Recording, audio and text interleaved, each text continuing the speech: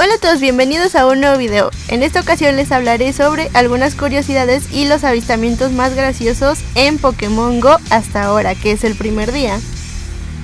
Primero tengo que hablar sobre qué es. Pokémon Go es una aplicación de tipo juego perteneciente al género de aventura en el mundo real recientemente lanzado por la compañía Niantic. Para muchos fanáticos de esta serie es un verdadero logro, ya que puedes convertirte en un verdadero maestro Pokémon, pues utiliza ubicaciones reales para incitar a los jugadores a que salgan a buscar y atrapar a todos los Pokémon que puedan. Entre sus principales funciones está la de personalizar a tu propio entrenador Pokémon, unirte a equipos para ganar batallas y completar tu Pokédex. Toda esta maravilla es gratis, por supuesto que es gratis, tal y como lo afirman varias páginas oficiales. Sin embargo, como la mayoría de las aplicaciones, los jugadores podrán disfrutar de opciones adicionales y nuevas formas de juego mediante compras además de una opción adicional llamada Pokémon Go Plus, de la cual hablaremos posteriormente. Ahora, si es tan maravilloso, entonces ¿cuál es la euforia de los memes? En mi opinión se debe simplemente debido a dos factores. El primero es que sabes que en cuanto algo toma fama, necesariamente comenzarán a crearse memes al respecto.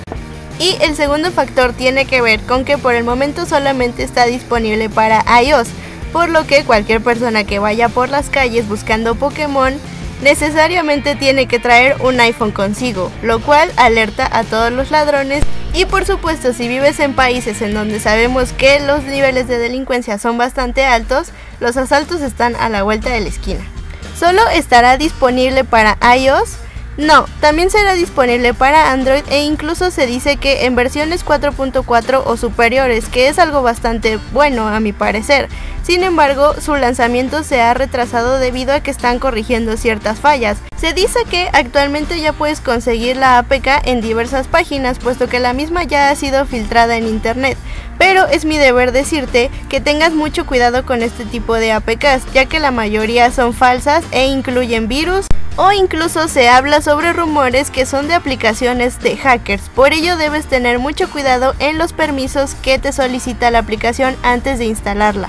Recuerda que su lanzamiento oficial está programado hasta para finales de julio de este año.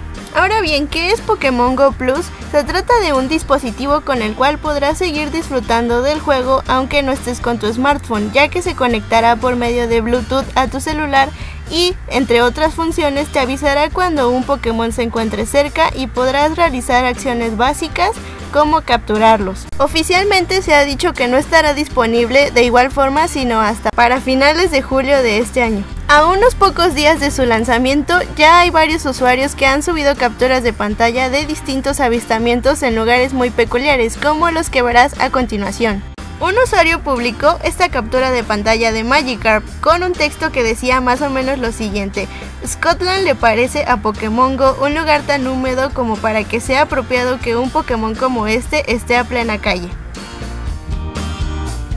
La siguiente imagen a algunos les parece bastante graciosa y a otros bastante perturbadora. Se publicó en Twitter acompañada del siguiente texto. Ayuda, ¿a quién debería atrapar primero?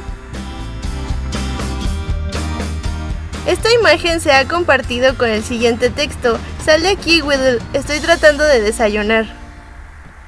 Esta captura de pantalla de Squirtle es bastante graciosa y se acompaña con el texto Pokémon Go te lleva a las más exóticas locaciones.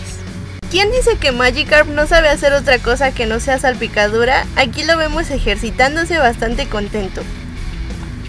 Esta captura de pantalla nos muestra que Godzilla no es el único al que hay que temer, también existe Squirtzilla. Esta captura de Diglett sería muy linda si no fuera porque está parado sobre un arenero. Y finalmente no me gustaría encontrarme esto después de prepararme unos huevos revueltos. Saludos para Daisy Hernández, H, Itzel Samantha, Son Bucket y especialmente para Stefan Jorquera. Recuerda que también puedes interactuar conmigo en mis otras redes sociales. Los links directos están en la descripción. Espero que te haya gustado mucho este video. No te pierdas el próximo porque presentaré 16 fotografías de hospitales psiquiátricos. ¡Nos vemos!